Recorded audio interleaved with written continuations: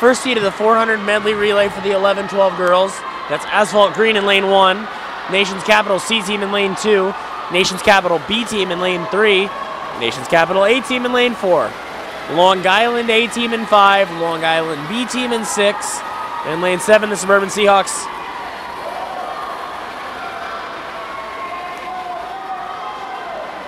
And in lane eight is Wilmington.